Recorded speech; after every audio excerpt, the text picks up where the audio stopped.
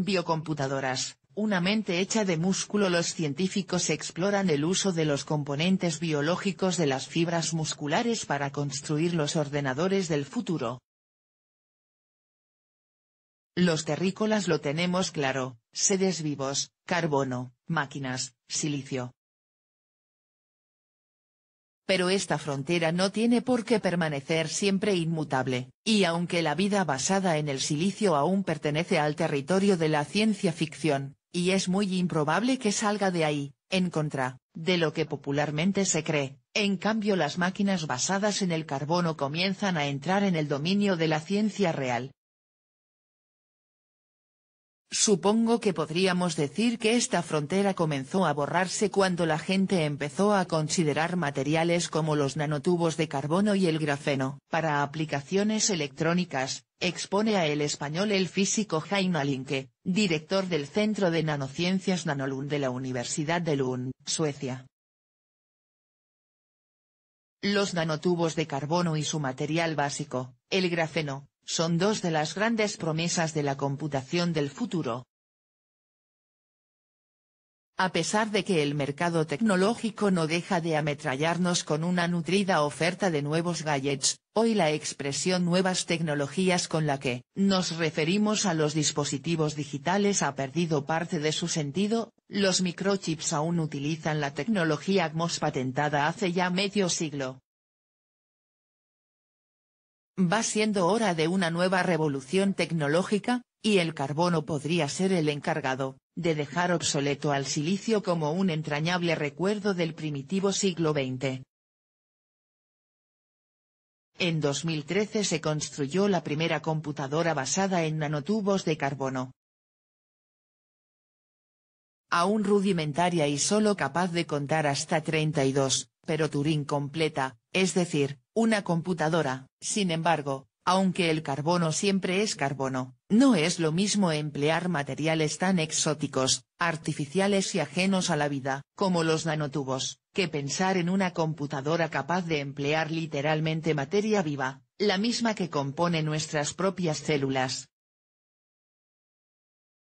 Sí, este es un paso más allá, valora Linke, Transistores biológicos El crecimiento de la nanobiotecnología ha posibilitado el uso de moléculas biológicas para almacenar y procesar información, lo que conocemos como computar. El precursor natural de este concepto se encuentra en el origen de la vida, la existencia de todos los seres que conocemos se fundamenta en un sistema que almacena datos en forma de ADN o ARN, y que procesa el input de información para producir un output, proteínas,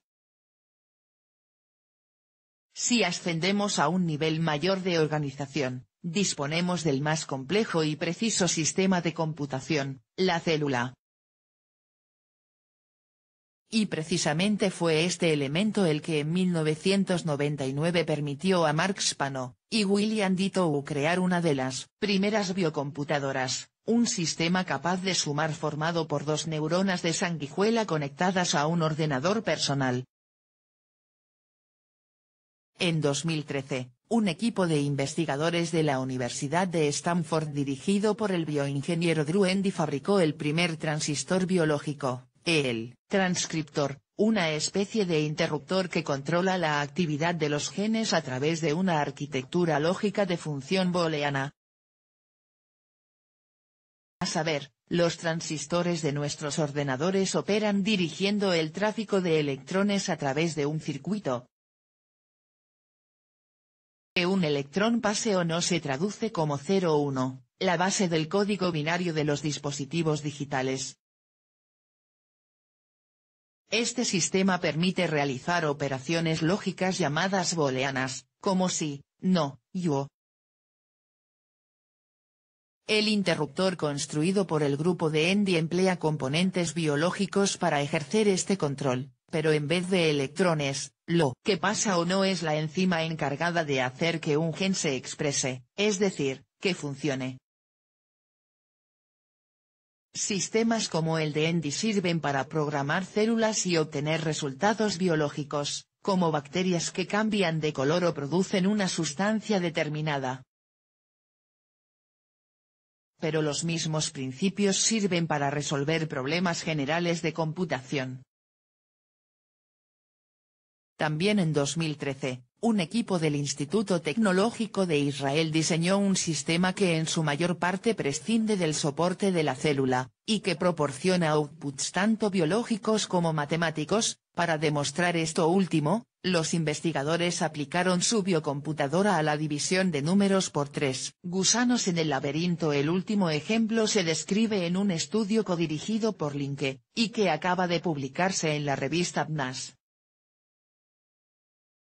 Los científicos, de varias instituciones de Europa, Estados Unidos y Canadá, han construido un biocomputador que soluciona un problema clásico de matemática combinatoria llamado suma de subconjuntos. Consiste en encontrar, dentro de un conjunto dado de números enteros, un subconjunto de ellos cuya suma produzca un resultado deseado. Por ejemplo, en el caso del estudio, los autores eligieron los números 2, 5 y 9. Y trataron de determinar las soluciones correctas de las sumas de subconjuntos de estos números. El problema de la suma de subconjuntos se emplea en campos como la criptografía, y para la computación tradicional, tiene una dificultad especial, los microchips de los ordenadores actuales no pueden realizar varias operaciones al mismo tiempo. Cuando un problema requiere ir probando distintas soluciones, los cálculos deben hacerse uno tras otro, lo que ralentiza el proceso. Esto comenzó como una idea en el reverso de un sobre, creo que después de demasiado ron los investigadores diseñaron una red geométrica que representa los caminos del problema, y después reprodujeron este dibujo en forma de canales en un soporte físico de 1,5 centímetros cuadrados mediante una técnica estándar de fabricación de chips. Linke explica que la idea parte de su colega Dan Nicolau Jr., de la Universidad de California en Berkeley y primer autor del estudio, consiste en reproducir problemas como el de la suma, de subconjuntos en una especie de laberinto físico, y luego calcularlos mediante algún tipo de agente de tamaño minúsculo capaz de explorar los caminos de la red, que son sus posibles soluciones. Según comenta en un comunicado el codirector del estudio y padre de Nicolau, Dan Nicolau Señor, esto comenzó como una idea, en el reverso de un sobre, creo que después de demasiado ron, dibujando lo que parecían pequeños gusanos explorando laberintos. La ventaja de este enfoque, precisa Linke, es que ofrece computación en paralelo en lugar de secuencial, solo con proporcionar al sistema la cantidad necesaria de la gente que se mueve por los caminos de la red. Al aumentar la complejidad del problema, el tamaño de esta red puede escalar de forma mucho más manejable que en el caso de las computadoras electrónicas, donde el tiempo de computación aumenta exponencialmente.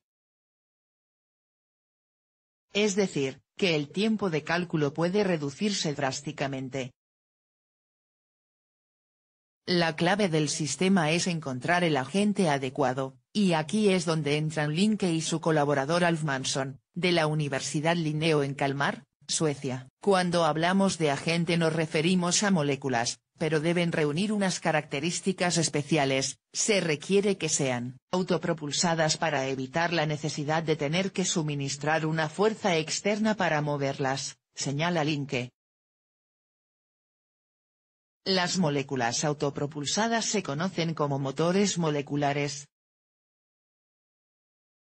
el equipo formado por Linke y Manson estaba investigando las posibilidades técnicas de uno de estos motores que todos llevamos dentro y que mueve nuestros músculos, el sistema actina-miosina, stage divin molecular La actina es una proteína que forma filamentos.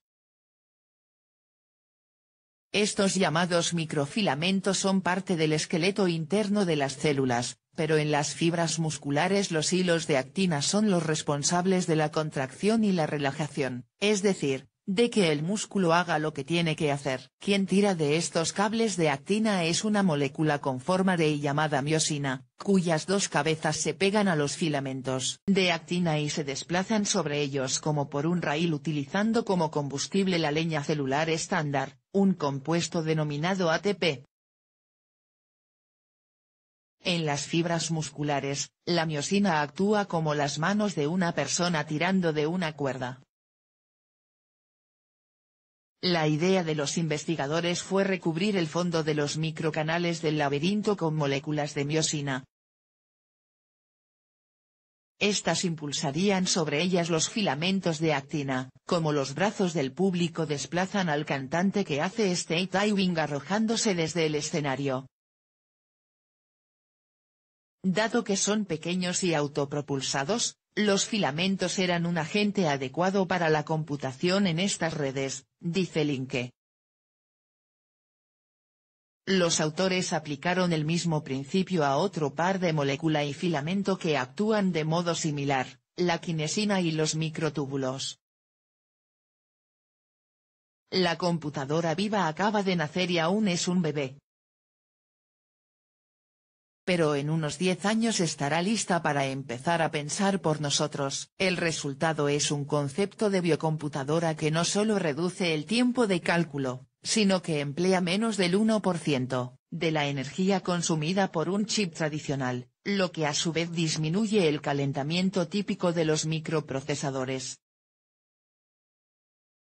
Linke afirma que los obstáculos a superar son técnicamente más accesibles que los planteados para el desarrollo de la computación cuántica, a menudo considerada la próxima frontera de los ordenadores. El próximo paso es escalar el sistema para resolver problemas mayores, apunta Linke.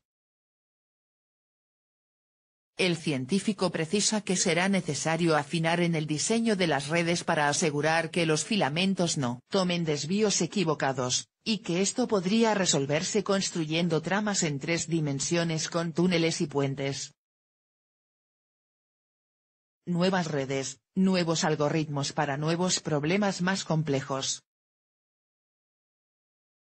La computadora viva acaba de nacer y aún es un bebé, pero en unos 10 años, estima Linke, estará lista para empezar a pensar por nosotros.